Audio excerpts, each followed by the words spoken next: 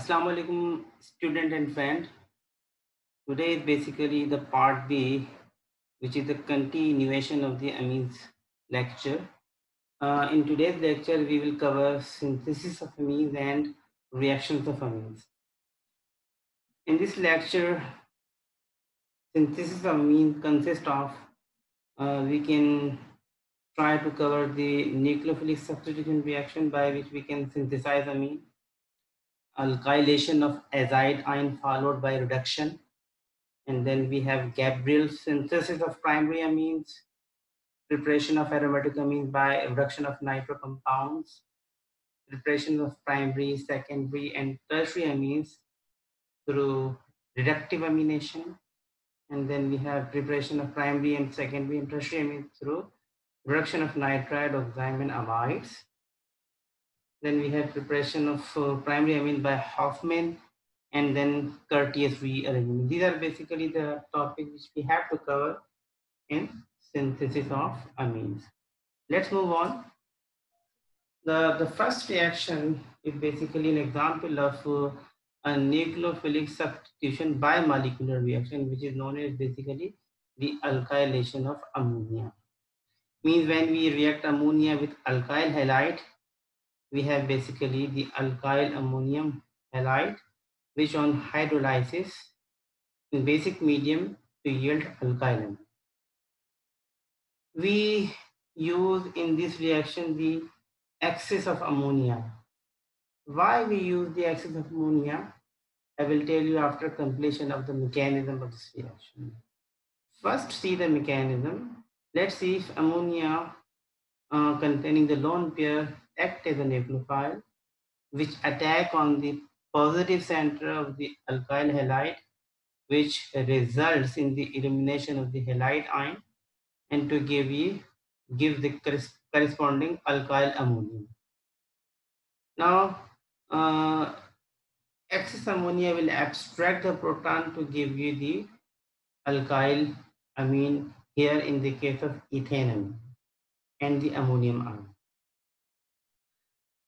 In the next step, this ethanamine further react with ethyl bromide to give you the diethyl ammonium and bromide. And so on, this reaction will continue. Now here you see in the example, if we have basically a substituted acid and you react with basically, it's an acid and a halide as well, and one equimolar, we react with the 70 mole of the ammonia, we have basically the control product and this is an amino acid example. Now I ask uh, a question in the first step that we use excess of ammonia. Using uh, excess of ammonia actually ensures uh, that all the haloalkane molecule react with the ammonia before having the chance to react with the any amines product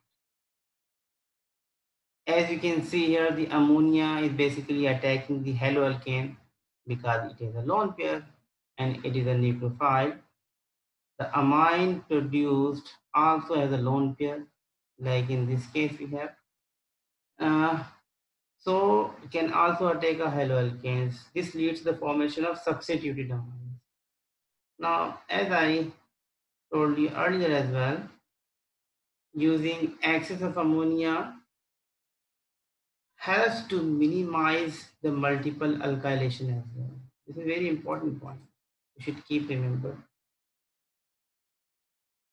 Now next move the the next reaction, which is basically the alkylation of azide ion followed by reduction. Now in this case, you can see I'm just I'm not uh, discussing the mechanism of this reaction um, I ion, of course, having the negative charge, the lone pair as well, this attack on the positive carbon and which result in the removal of this halide ion. And we have basically alkyl azide group. This is also an example of SN2 reaction. Now this alkyl azide on reaction with sodium in alcohol or lithium aluminum hydride means a reduction case result in the removal of nitrogen as well as the addition of hydride and to give you the corresponding alkyl amine. This is basically how we can synthesize amine from the azide. We have another, we can synthesize primary amine using uh, Gabriel synthesis in which we use basically phthalimide in basic medium. Now what happened, base abstract the proton and convert this phthalimide into a salt form. This uh, negative charge on nitrogen attack on the alkyl halide we use to synthesize the primary amines and remove the halide ion to give you corresponding an alkyl phthalimide. And uh, then in the further step in this synthesis, we use uh, hydrazine in ethanol as a solvent. Of course, this reaction involves several steps to give this product. Uh, what happened, this hydrazine acted as a nucleophile attack on the carbon center. This uh, pi bond between carbon and oxygen will shift on to the carbon and then go back. And ultimately, after several, several steps, the CN bond will break up and hydrazine will get attached with this carbon. Now in this next step, this terminal amine nitrogen attack on the carbon to give a basically six member heterocyclic ring, which is here phthalazine 1,4 dione. And uh, by the way, this uh, lone pair will go back, which result in the removal of this alkyl amine, which is basically our required product of primary amine we can synthesize primary amine using by this way. Next, we have basically how we can synthesize uh, the, this is actually a same case of uh, a nitration. And we have studied in previous classes as well that, of course, this is an example of uh, uh an aromatic ring. If it is phenyl, it's a benzene ring. And for benzene, uh, it, it's a nucleophilic substitution reaction. Using nitric acid and sulfuric acid, we have a nitro. Uh, here, we uh, if it is benzene, it is nitrobenzene. Upon reduction of nitrobenzene, we have basically an aniline. Now keep remember, aromatic uh, amines can be synthesized by reduction of the corresponding nitro compound. Definitely, whatever compound we have in the aromatic compound, we have the corresponding aromatic amine.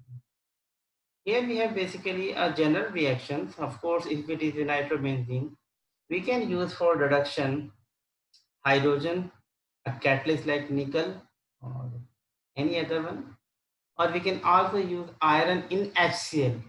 In the first step and in the second step, a base can be used to give you the corresponding uh, aromatic amine.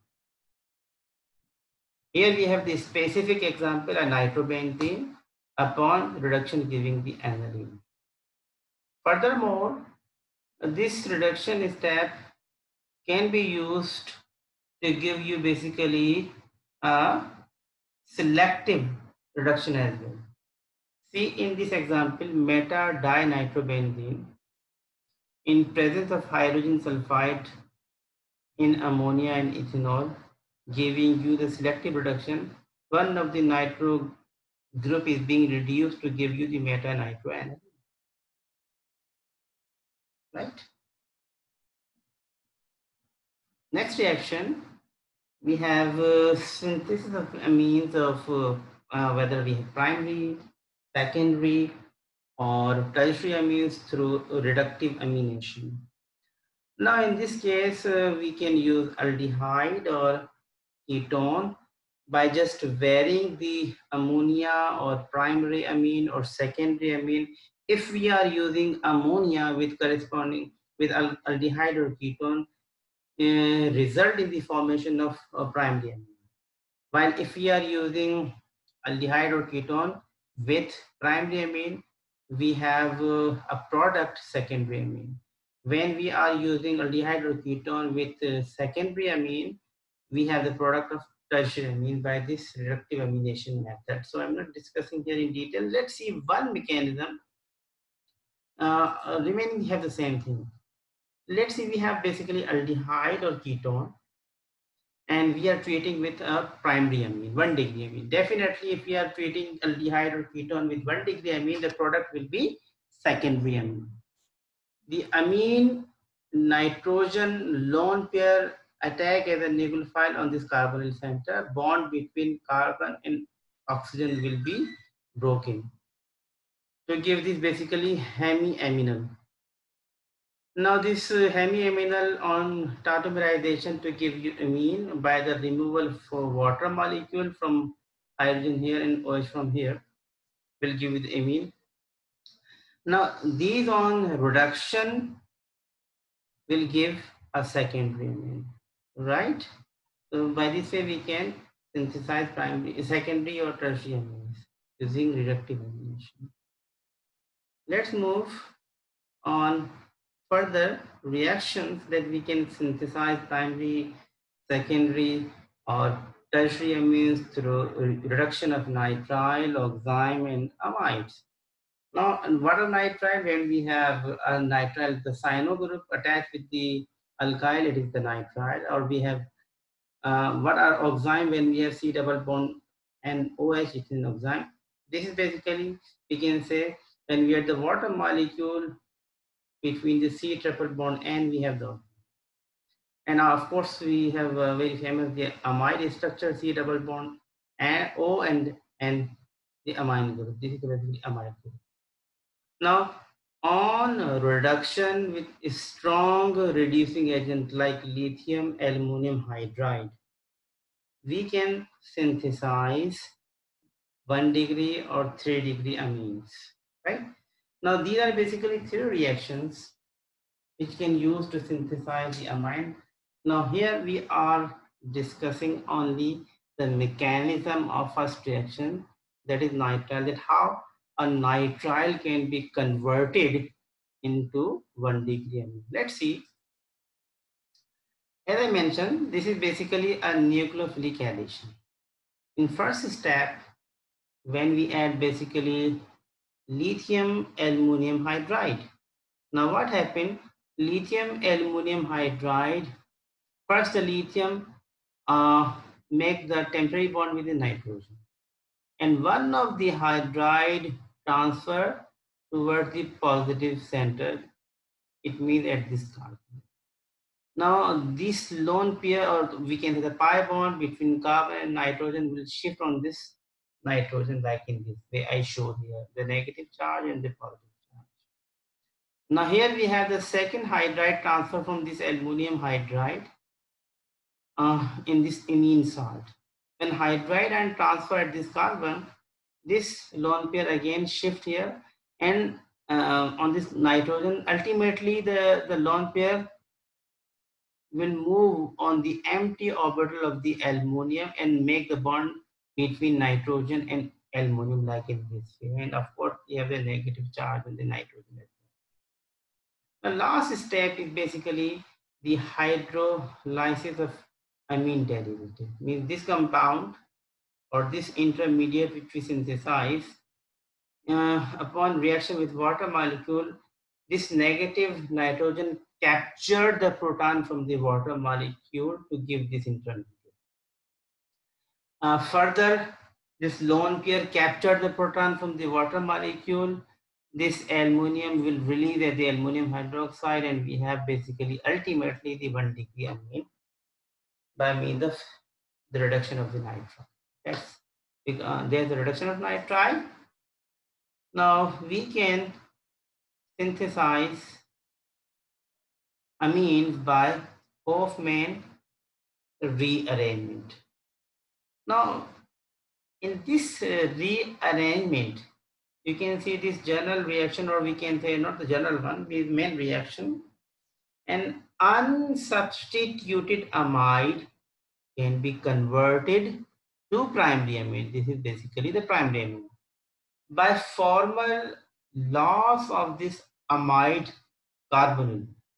Now this arrangement is known as Hofmann rearrangement.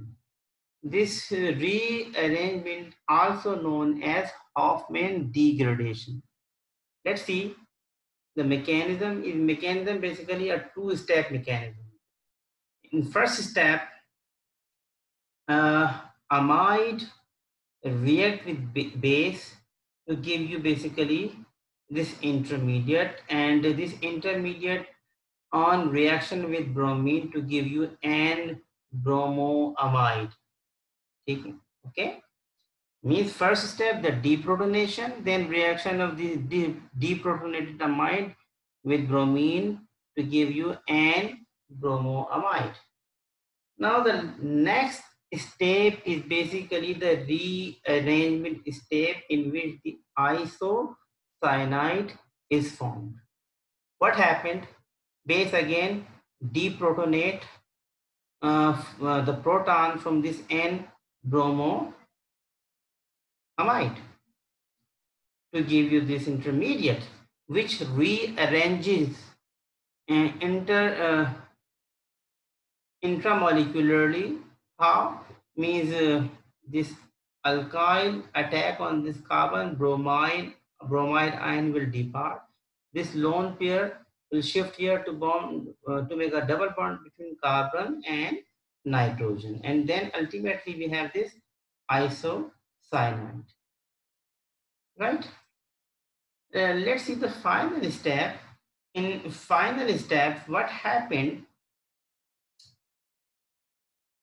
You can see here uh, upon hydrolysis OH attack on this carbon center and bond between carbon and nitrogen the weaker bond the pi bond electron shift on this nitrogen and we have this intermediate and this is a tautomeric form now what happened this nitrogen rearranges to give you this carbamate ion internally proton shift here and extract the proton from this water molecule to give ultimately the amine and decarboxylation occur in this carbamate ion. This is how we can synthesize amine from the from this product. Let's see what happened in the Curtius rearrangement. Okay, Hofmann rearrangement and the Curtius. Uh, the main difference is the starting material. In Hofmann, we have basically amide, while in Curtius, we have the acyl chloride. I'm not discussing in detail, a very short mechanism. In uh, the acyl azide as obtained, like in this way, you can see here the sodium azide react with acyl chloride, this negative charge attack on this carbon, removal of chloride and take place and we have this acyl azide. Now here this rearrangement take place which result in the loss of nitrogen upon heating and the rearrangement of this alkyl group to give you the isocyanate. This isocyanate have this uh, on uh, uh, reaction with aqueous solution or we can on workup to give you amine now the, the, the mechanism of this isocyanate to amine is same as in as mentioned in the Hofmann rearrangement. Okay, now uh, the synthesis part finished. Now we are on the second part of today's lecture, which is the reactions of amine. These are the reactions we have to be completed in this part. I'm not uh, mentioning the name here, just move on to the reaction side. The first reaction, as I mentioned, that uh, amines behave as a weak base. Uh, when amines react with water, give basically an ammonium ion, alkyl ammonium ion, and the aqueous ion. This is showing that amines are basically a base. Now, further, we can confirm that whether amines are base when we react, especially here we can arylamine. With HCl, we have basically phenyl ammonium chloride.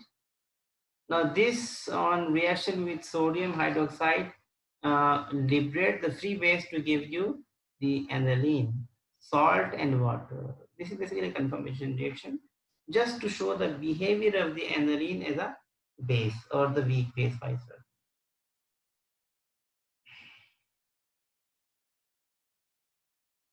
Let's see the next reaction. Amines uh, also uh, react by means of the nucleophilic substitution reaction. See here, in this case, that alkyl amine when react with basically alkyl halide to give you substituted alkyl amine or we can have basically the ammonium salt. See, these are some example when we react with uh, ethylamine with ethyl bromide, we have diethylamine. Then this react with further ethyl bromide to give you triethylamine. When this triethylamine react further with ethyl bromide, we have the quaternary ammonium yeah, of tetra ethyl ammonium bromide. Uh, this is showing that uh, generally amines uh, uh, occur the nucleophilic substitution reaction. Another part that amines lone pair can also make a carbon nucleophilic by the resonance. See, means uh, see this is the amine.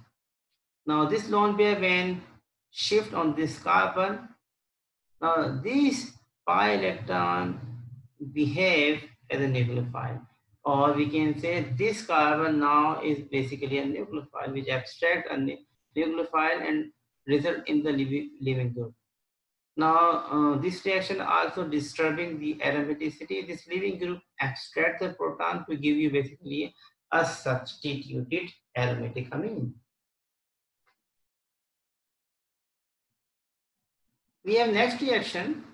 It amines also oxidizes to give you amine oxide. I am not discussing the mechanism of this reaction. Just see when primary and secondary amine undergoes an oxidation, we have some useful product.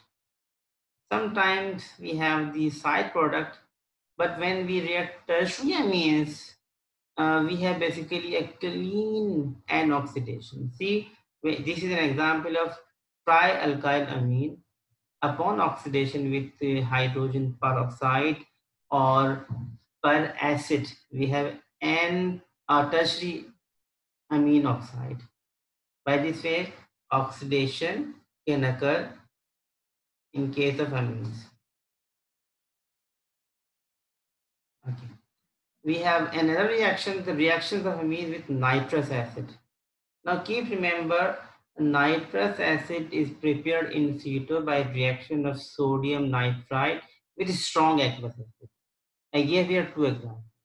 Like when we treat sodium nitrite with HCl, we have the nitrous acid and sodium chloride. Or we can treat sodium nitrite with sulfuric acid to give you the nitrous acid and the sodium sulfate. Now this is basically a reacting species which react with amines to give you basically a diazonium salt. This diazonium salt is very important topic as well as you have in your third year lecture as well. Now let's see the general reaction as I mentioned here. When primary amine or any aliphatic amine, this reaction also proceed in the aromatic amine as well. We will discuss. And uh, aliphatic amine when react with sodium nitrite and HX, HX means the acid.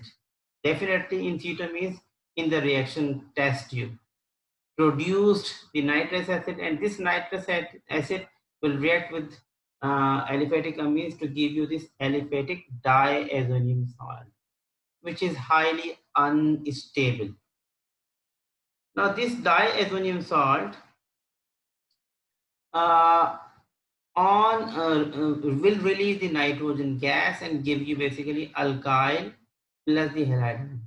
This will go on to give you the alkenes, alcohol, and alkyl halide because this is basically a intermediate and intermediate. See the same reactions when we have basically the aryl amines or primary aryl amines, which is basically aromatic. When they react with sodium nitrite and acid, definitely in situ reaction, they produce the nitrous acid and we have arene diazonium salt which is much, much stable as compared to the aliphatic diazonium salt. Now see the mechanism that how this reaction occur. And here I'm discussing that how basically nitrous acid react with the H3O and ultimately this produces nitroso-ion. This is the actual uh, reacting species. This nitroso-ion reacts with the one uh, degree aryl amine or alkyl amine to give you this N-nitroso ammonium ion. Upon reaction with water molecule, which is basically behaving as a catalyst, abstract this proton because this have the, uh, the positive center and we have this N-nitroso. Now, upon workup or catalytic addition of the acid, oxygen abstract the proton to give you this basically intermediate. And this bond will shift here to give this diazo-hydroxide. Now you can see here internally a proton shifting is being occurred. Now what happened here you can see when oxygen abstract the proton leave the conjugate base. This conjugate base abstract the proton and regenerate itself. Okay, and produce this diazo-hydroxide. Now, uh, the same uh, acid you will add, and this acid will uh, basically just giving the proton to this hydroxide and making it a good leaving group, and we have this protonated intermediate. Now this protonated just release the water molecule. We have this uh, arene diazonium ion. And uh, this is uh, of course somehow the tautomeric form. Uh, this has some more reactions further because this is an important uh, intermediate for further reaction. We are not discussing here. Here, here we just show that how we can synthesize the arene, arene diazonium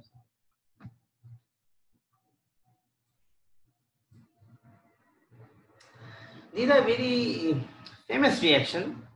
As I mentioned in the previous slide, once we synthesize arene diazonium salt, this arene diazonium salt can be treated with a variety of the reagent to give you various compounds. And it was discovered by the Sandmeyer. That's why it is known as Sandmeyer reaction. Now here, if we treat this arene diazonium salt with uh, copper, we have basically a phenol or its phenol derivative. When we treat with copper chloride, we have basically aryl benzene, uh, yeah, halobenzene, yeah, haloarene compound. When we treat with copper bromide, we have bromoarene compound. When we treat with this arene diazonium salt with copper cyanide, we have a cyanoarene compound. When, when we treat potassium iodide, we have the iodoarene compound. When treat with the HBF4, and on upon heating, we have the fluorine uh, arene compound, fluorine containing arene compound. When we treat with H3PO2 and water, we have basically and simple aryl compound, the aromatic compound. Let's see in the next slide. Here, uh, uh, we have uh, the arene diazonium salt, which was obtained in the previous slide, can further go the coupling reactions. Now, arene diazonium ion react as a nucleophile with highly reactive aromatic compound such as phenol or aromatic tertiary amines. This reaction, that's why it's known as diazo coupling reaction. And we have this basically a coupled and uh, coupled as a compound. Coupling with phenol occur best in slightly alkaline solution. Here we give an example that alkaline solution produces a phenol oxide ion that couples more rapidly if the solution is too alkaline, the non-reactive diazo-hydroxide ion is produced. These are basically an example of this reaction.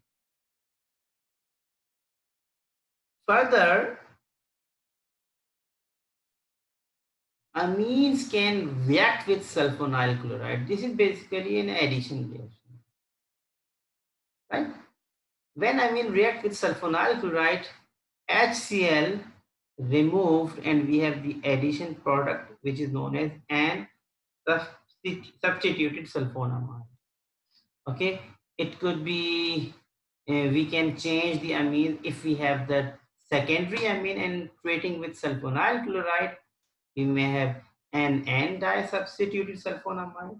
So we can just change the amine and we can have the different substituted sulfonamide based on the reaction okay we have the next reaction with the Hinsberg test it is basically used to distinguish between we have whether primary or secondary or tertiary amines, right? Now, an amine or a benzene sulfonyl chloride are mixed with aqueous potassium hydroxide. The reaction is acidified in the second step. The result are different, depend on the class of amine a benzene sulfonyl um, sulfonamide from a primary amine is soluble in basic solution but precipitate on acidification. Here you can see when we treat with the primary amine this uh, sulfonyl benzene sulfonyl chloride. Now just the removal of HCl and we have this uh, arene sulfonyl benzene chloride. Now this proton is acidic proton. When we treat with the base, base abstract the proton and make it water soluble salt. Now upon reaction with again the with the acid, we have water insoluble precip precipitate in case of when we have the primary. Now what happened? When we have the secondary amine, secondary amine forms a precipitate directly, right? Here in the, previous example, um, the precipitate were not made directly. While here in this case, the precipitate will be formed directly in basic solution. There is no acidic hydrogen in case of when we have the second payment. Why? Because we have the alkyl group. And we have the N and disubstituted sulfur sulfonamide. So by this way, we can distinguish this is the second amine. Now what happened if we have a tertiary amine? Tertiary amine will not react to form a sulfonamide, but will dissolve upon acidification. And acidification convert the amine to water soluble iminium salt. By this way, we can distinguish between primary, secondary, and tertiary amine using this test. Next reaction, elimination involving ammonium compound. This is also known as Hofmann elimination. Now what happens, this is a elimination 2 type reaction or we can say an E2 type reaction occurs when quaternary ammonium hydroxide ion is heated. Now keep remember quaternary ammonium hydroxide ion can be made from a quaternary ammonium halide using silver oxide. We are not discussing here the production of the quaternary ammonium hydroxide. Now, this quaternary ammonium hydroxide, upon reaction with the strong base, base will attract the proton to give you corresponding alkene and this uh, ammonium ion will release it as a tertiary. And this is the synthesis of the amine as well as the synthesis of alkene. And this is a very famous reaction, the Hofmann product, you know, for the synthesis amine.